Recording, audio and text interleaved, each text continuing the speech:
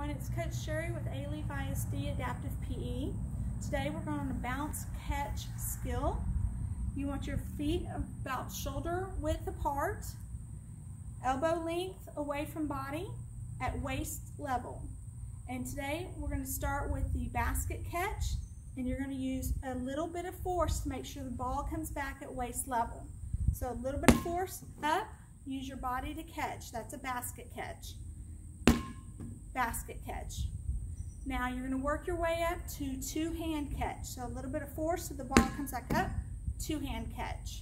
A little bit of force, two-hand catch. Thank you for joining us today on our basket catch skill. Thank you.